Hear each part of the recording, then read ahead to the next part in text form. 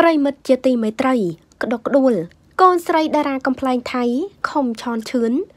បង្ហោះសារសែនកំសត់ទាំងទឹកភ្នែកក្រោយឪពុកស្លាំវាជាដំណឹងមួយដ៏សែនក្រៀមក្រំបំផុតដោយនៅថ្ងៃទី30ខែមេសាឆ្នាំ2021ម្សិលមិញនេះវេលាម៉ោង7ព្រឹកតារាកំ pl ែងដ៏ល្បីឈ្មោះប្រចាំប្រទេសថៃ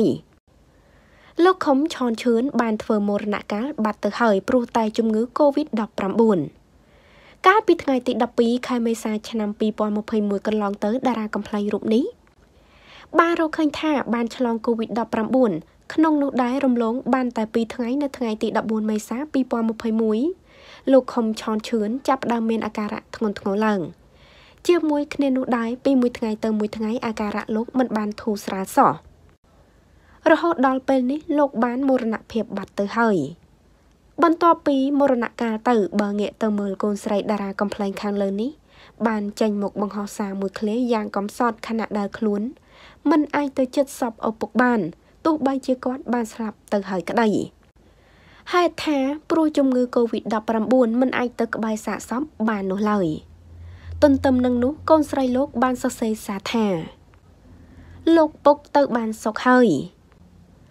បន្ទាប់ពីឃើញសារមួយនេះបានធ្វើឲ្យមហាជនអ្នកគាំទ្រកើតក្តីរំជួលចិត្តអួលដំកគ្រប់គ្នាព្រោះថានៅនឹកអាឡោះអាឡៃលោកព្រោះលោកជាសិល្បករជើងចាស់ម្នាក់ដែលបានបំរើអារម្មណ៍ទស្សនិកជនឲ្យសើចសប្បាយរហូតមក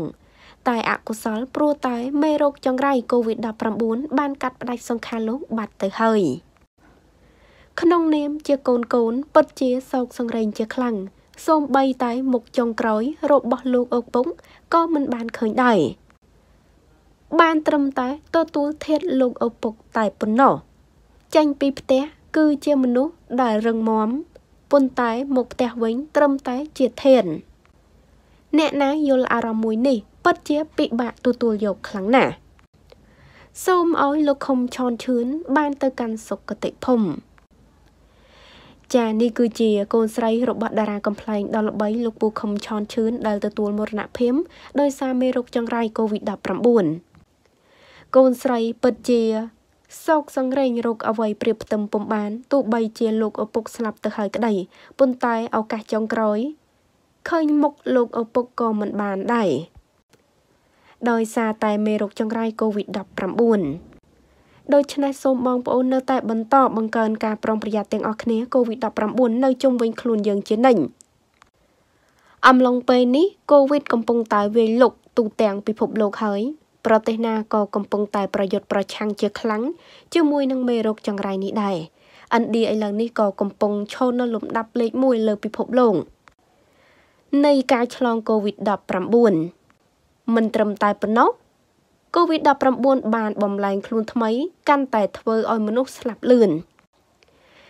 រក្សា3កុំ3ការពាររបស់ក្រសួងសុខាភិបាល អនុវត្តឲ្យខ្ជាប់ខ្ជួនដើម្បីកម្ពុជាឆាប់អស់មេរោគដ៏សាហាវ COVID-19